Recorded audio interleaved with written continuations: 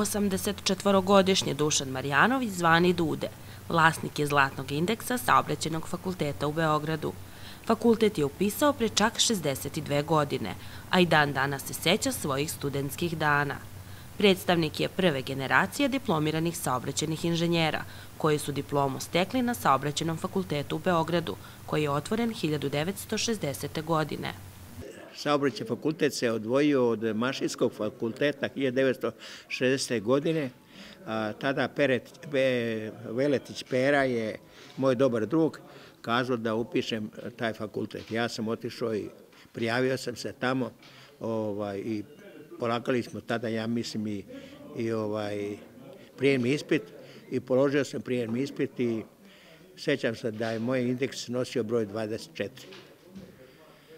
To je bilo 1960. godine. A tada su, e, tada je saobraćaj fakultet bio dole u ovaj, de rudarski fakultet preko puta botaničke bašte.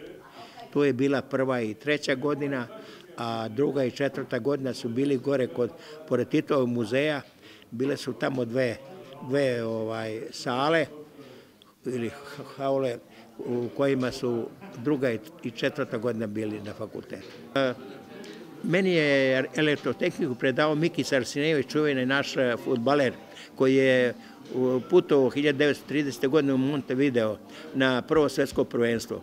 I kad je uzeo moj indeks, video da sam ja Marjanović, kaže šta ti je Moša Marjanović, rekao ja stric, rekao ne, posle sam kažu nije stric, ovaj, i tako pričao mi je kako su putovali, da je to bilo naporno, da su oni na brodu, brodom su putovali, da su oni na brodu i trenirali, da je e, taj kao moj stric, jel, e, Moša imao je brata Nikolu koji je bio daleko i bolji futbaler od njega, ali je polomio nogu, ali u to vreme e, ovaj, medicina nije tako bila kao danas, pa je odustao od futbala.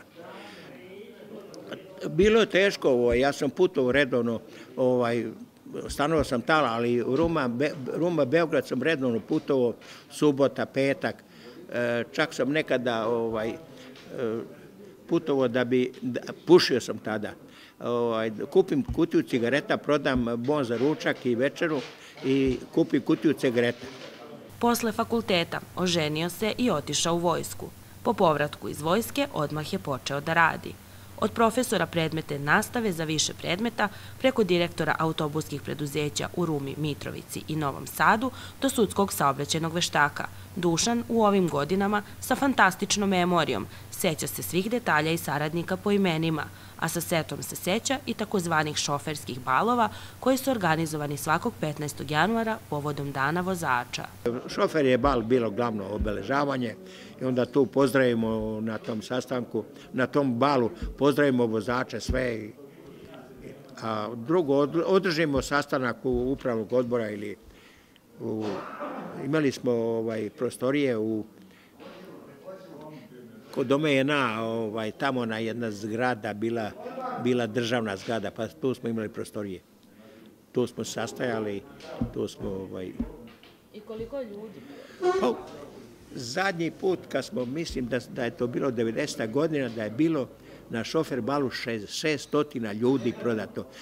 To nije moglo, to je i sremska soba bila rasprodata, sve.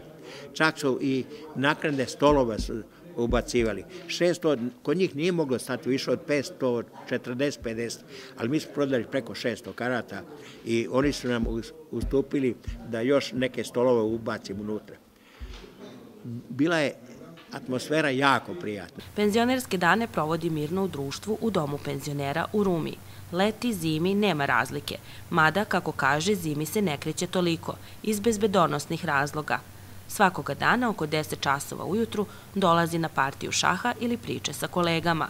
Svi se poznaju još od vremena kada su bili radno aktivni, a priče i pošalice iz tog perioda i danas se prepričavaju.